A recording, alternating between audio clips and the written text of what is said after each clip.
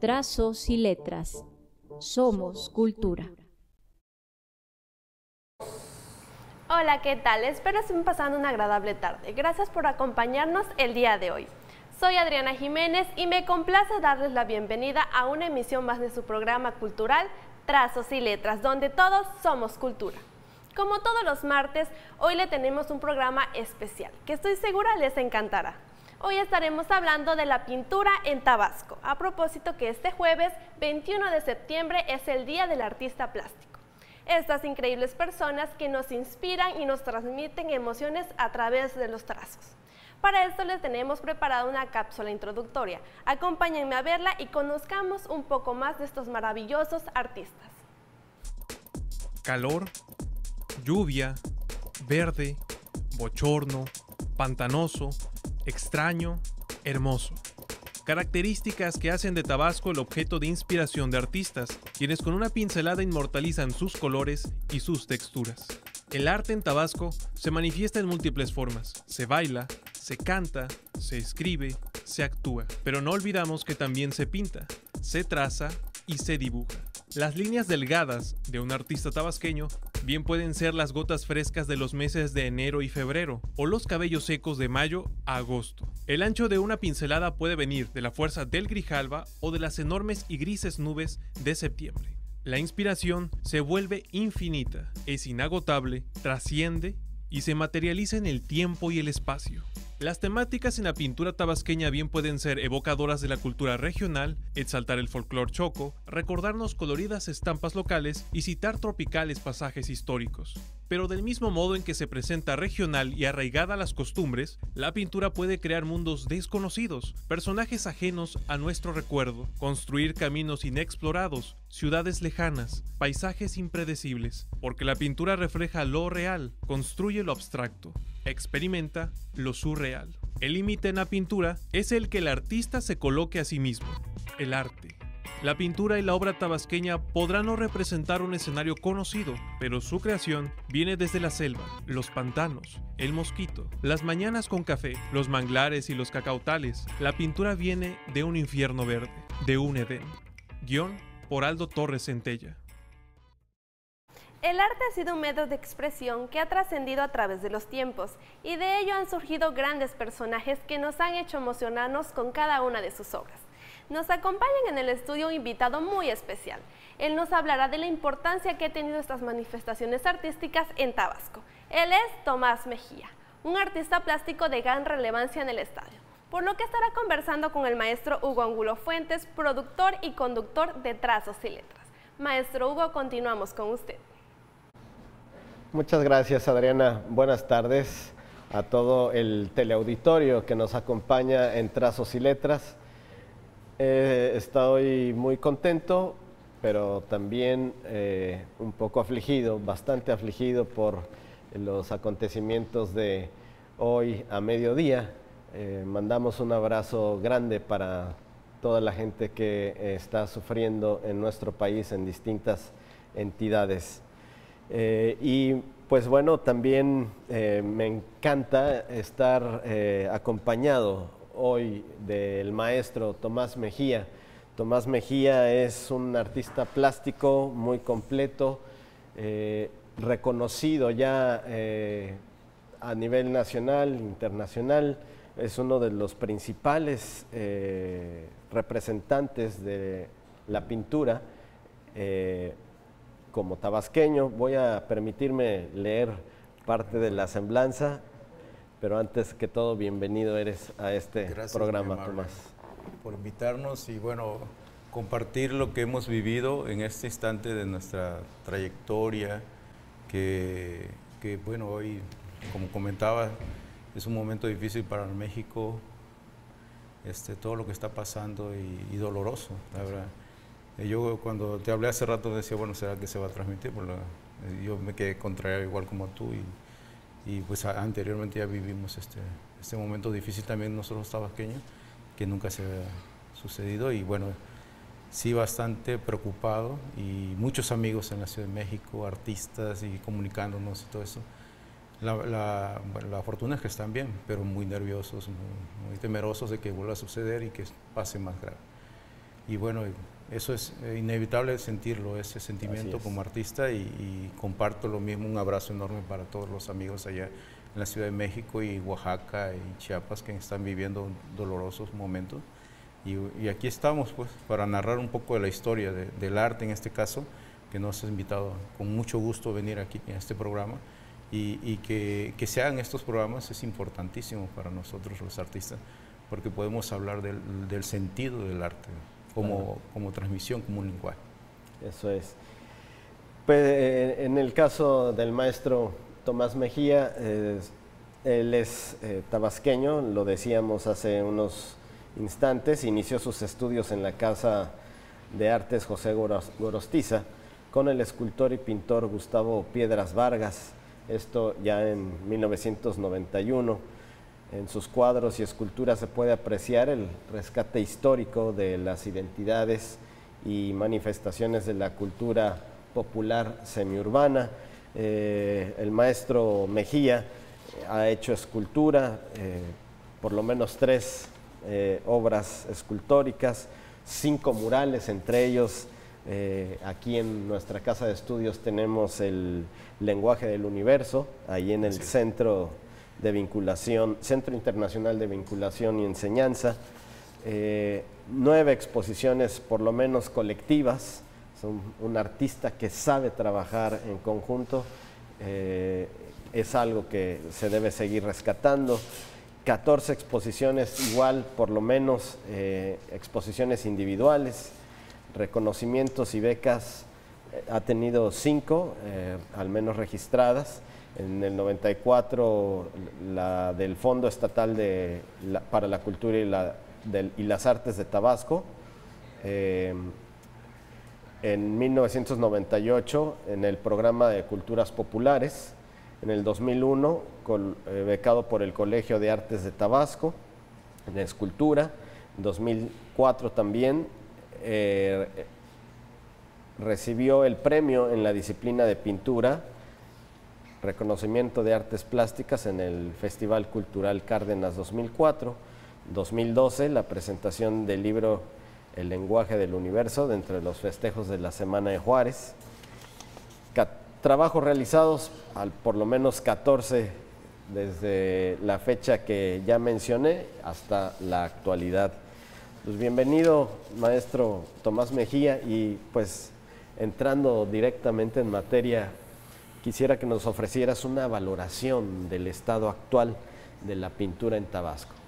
Bueno, la historia de Tabasco eh, en el desarrollo con la llegada de, la industria petrolera eh, creció muy rápido en lo que es la, arquitectura, este, la economía mejoró en, mucho en las carreteras y todo esto, pero algunas cosas en el sentido, eh, en el caso de la cultura, eh, no, no se usó, no hubo la oportunidad de dar una formación. Entonces, la cultura en Tabasco, en el caso de las artes plásticas, bueno, en casi todas las áreas, ha quedado descontinuada en ese sentido, no, no ha habido un crecimiento total y son pocos los espacios donde podemos llegar a, tomar clases en, eh, en, Tabasco. Entonces hay muy pocos espacios y que es necesario un desarrollo mayor de infraestructura y de conocimientos para los tabasqueños. Entonces, eh, los, la mayor parte de los artistas han sido formados de una manera intuitiva en ocasiones y algunos talleres. La mayor parte de, los, de las formaciones en Tabasco ha sido por talleres y los que no tuvieron que viajar a la Ciudad de México o hacer otra, otras este, especialidades fuera. En el caso mío me quedé aquí en Tabasco, tuve la fortuna en el proyecto de el boom cultural que hubo en el gobierno de González, pero que se hicieron los edificios, se trajeron maestros de fuera en el sentido de teatro, danza, música, artistas internacionales, maestros de, diferentes países, de Alemania, de, Cuba, de Estados Unidos, este, argentinos, de la Ciudad de México y es cuando yo encontré, en la última etapa de este proyecto me encontré con el maestro Gustavo Piedras, que es de la Universidad de San Carlos y, y, él estuve con él seis años estudiando, entonces prácticamente recibí muchos conocimientos académicos. Tuve la fortuna de, de continuar con él porque era un taller abierto, pero creo que yo lo, lo forcé a que me diera eh, eh, prácticamente académico el proyecto, porque no me iba, no me iba. Año tras año seguía yo estando ahí. Entonces, normalmente llegaban los alumnos y se iban, se dispersaban, y yo no, yo una continuidad. Fue una pasión enorme. Y soy de los únicos que quedaron de esos, de esos grupos en los cuales mucha gente llegó. O sea, habían doctores, ingenieros, arquitectos que querían tomar clases ahí y quedaron un año y se iban. O sea, de los artistas, eh, bueno, dentro de lo que cabemos como mencionar como artista, somos los que quedamos, porque la mayor parte este, se retiró. Y así como yo, hay muchas, muchos artistas o pintores que están así de esa manera, que han desarrollado una carrera pero no profesional completa. ¿no? Son talleres autodidactas, pero algunos solamente por, eh, por maestros menores que le enseñaron a pintar. Y eso se ve en la obra plástica. Hay artistas que no tienen técnicas eh, profesionales para aplicar los materiales y no saben ni siquiera cómo, qué están haciendo, simplemente pintan cuadros. Ellos, ellos están resolviendo a como, a como ellos creen. Eh, es importante ese conocimiento. En mi caso yo toco técnicas diversas y en mis cuadros se puede ver una especialización desde un dibujo, manchas, veladura, estructuras técnicas desde composición hasta texturas, acabados con materiales, sea con pincel, con espátulas, esgrafiados, rayados, bueno, hay una gran diversidad. Entonces, el arte es como divertirse, ¿no? Con diversidad de materiales. Entonces, sí, hay mucho que, que, falta entonces, en ese sentido. Eso es. Bien, eh, nos vamos a ir a un corte promocional y Enseguida vamos a, retomar un poquito más a profundidad las propuestas, las propuestas que los artistas plásticos están compartiendo eh, hacia la comunidad tabasqueña. Eh, recuerda que estamos en Trazos y Letras, somos Cultura, estamos transmitiendo por el canal 35.1, también por el canal 9 de televisión privada o en www.ujat.mx. Vamos a una pausa.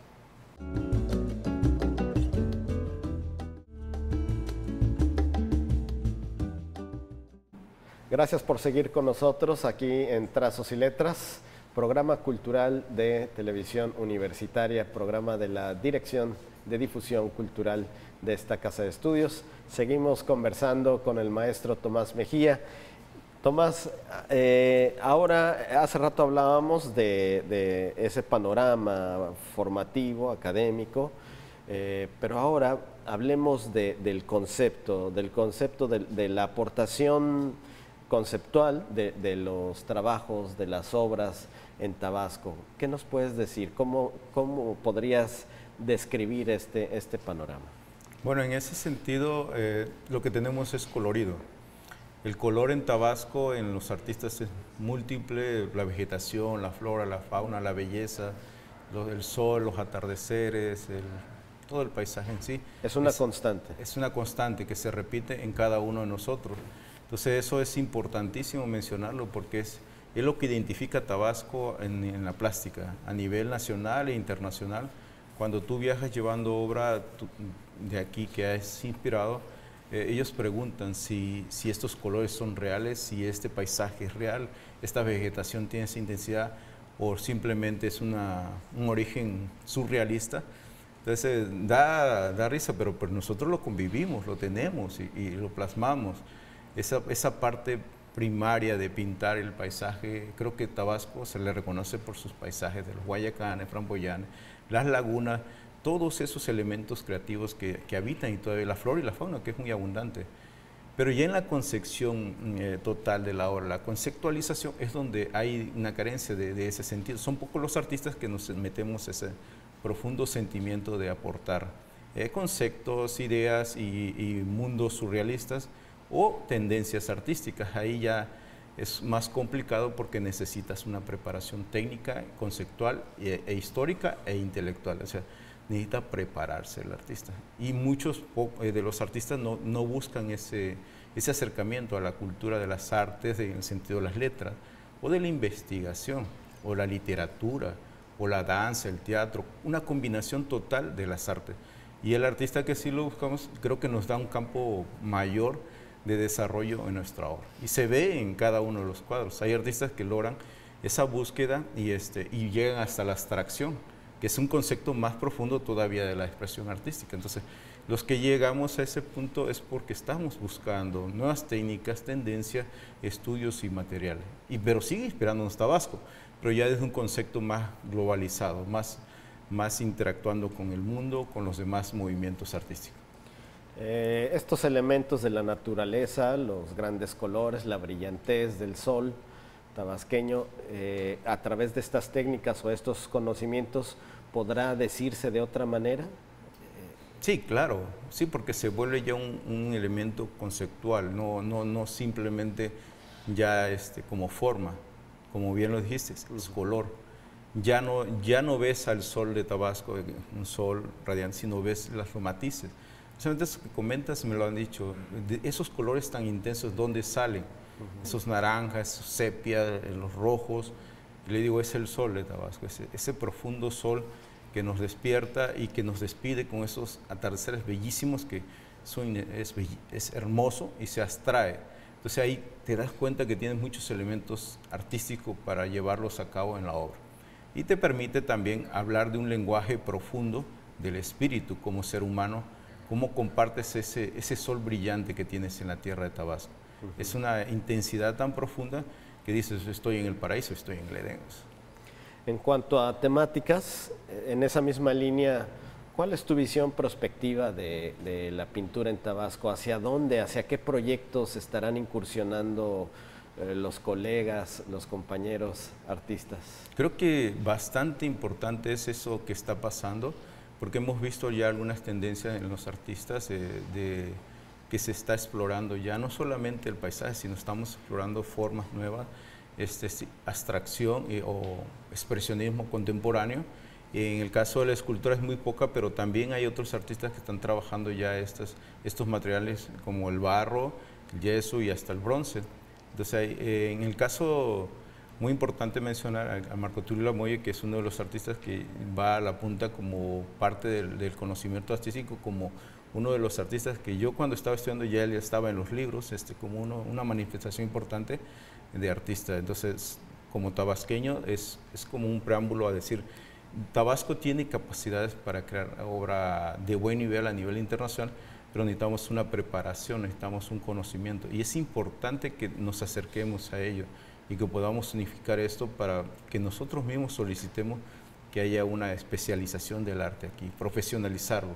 Y no solamente es la expresión plástica como tal, como yo pinto bonito, sino eh, la preparación técnica, materiales y cómo las tendencias artísticas nos ayudarían a, desenvolver y a, inspirar, que, que esa inspiración de Tabasco lo podamos narrar de otra manera, de otro lenguaje más profundo.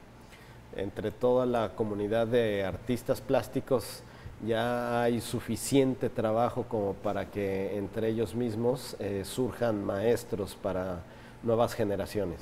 Claro que sí los hay. Eh, la preocupación es la preparación. No estamos listos quizás para entrar a esa última, ese último momento. Si vamos a hablar de la historia de los grandes maestros que han habido, que, fueron los en pasado, eh, Fontanelli, Ferido Castillo, este, por mencionar algunos, este, ellos daban clases, pero era su forma de dar clases de esa época. Eh, eh, ahorita se ha cambiado esa modificación teórica, conceptual y pedagógica, entonces necesitamos artistas que son de las nuevas vanguardias, que, que necesita que Tabasco cambie esa modificación del clásico paisaje, sino que se vaya a una conceptualización más profunda. Todas las expresiones artísticas son hermosas, todas las tendencias, pero Tabasco puede ser llamado a una importante. Ya ahorita se le conoce, tenemos interacción con Chiapas, Campeche, Veracruz, Yucatán, este, hacemos intercambios con esos mismos artistas. Esos a través de los encuentros de artes plásticas que han oído nos han funcionado mucho, han ayudado mucho a interactuar y esos cursos que se han dado nos han permitido visualizar también otras expresiones.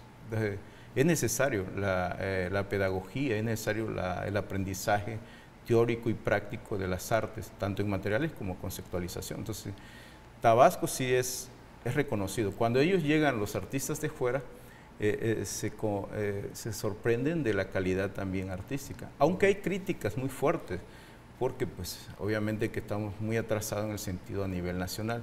Hay críticas que hablan de, del mal dibujo, de la mala composición, pero lo que los sobresalta es las formas. Y mucho he visto cuando vuelvo a ver las obras de algunos artistas que han estado aquí en Tabasco, que ha sido influenciado Tabasco a ellos, les ha dado esa también creatividad y se han llevado los, las, las, iguanas, las tortugas, y las ves en su obra ya en, eh, cuando están en México, en Oaxaca, y ves esas expresiones y dices, sí hay influencia. es necesario hacer esos encuentros para que esa participación, esa comunidad intercambie conocimientos y también las formas de, vivir, ¿no? Es, el arte en, sí, una forma de vida. ¿Cuáles son para ti los referentes teóricos que los artistas plásticos tendrían que conocer? Pues aquí es importante llamar este, las técnicas. El buen dibujo, eh, se, habla un, dicho, el que dibuja bien, pinta bien. Ese es uno. Y, lo más importante en este caso es la composición también.